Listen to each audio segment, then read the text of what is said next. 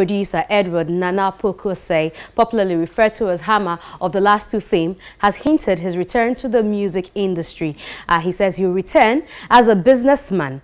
Speaking exclusively to TV3, Hammer disclosed that he'll return in the capacity of a businessman, according to the sound engineer who discovered, groomed, or produced the likes of Obrafour, Edem Tinny, Sarkodie, Kwaw Kese, and many more. His works as a music producer has come to a halt.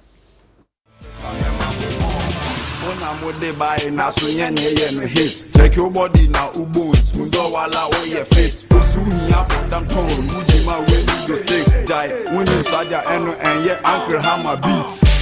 Tired for you know I'm I'm kind of tired with the music for now.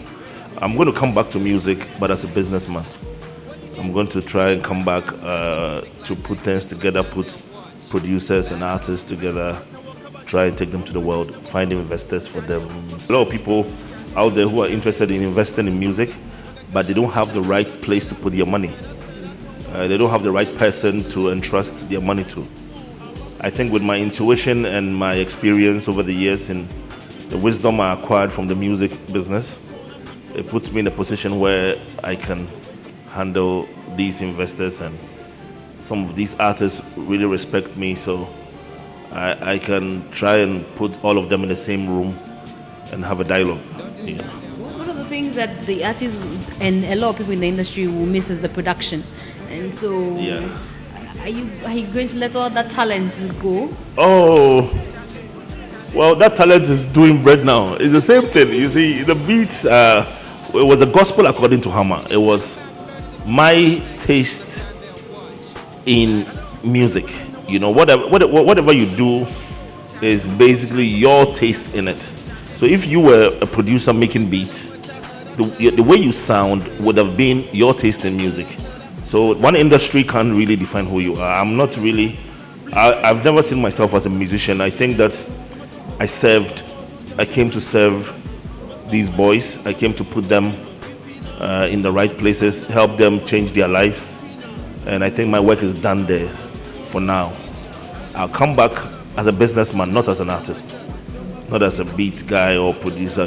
I'll just put them together. Obviously, I'll be in the studio advising. Is it because you think that you know, like you said, you've paid your dues, you've made enough money from this uh, venture, so it's not okay. money, not money. Uh, if we talk about money, I wouldn't say I made money there. I, I think I is a wealth of wisdom and experience and people management. You know, money is uh, is is is overrated. You know, it's not. In the music industry, is that what you mean? Yeah, it's not really about the money. The people in the music industry don't really do it for the money. If they want to do it for money, they will go and do something else. You know, it is the passion they have for music. Most of them are doing it for the passion. The money is a bonus. You know, but you can't really do it for money if because there are more far more easier things to do for money. You know, music is not an easy thing. It has to come to you, you know. A lot of emotions in music. So if you are really in the music industry for money, then you're lost. You might get fame. A lot of people confuse fame with money. It's not, you know, the most painful thing is getting a lot of fame and no money. The reason I ask about money is because uh, people say that oh, there's money in music. Uh, at least we see artists drive a lot of uh, fleets uh, of cars. We It comes see with the fame. I think it comes with the fame. I, everybody knows your face. Anybody, everybody knows your name. It's only right that you drive a nice car. So even when you don't own it. they, no, they, they, they are slaves to what they possess.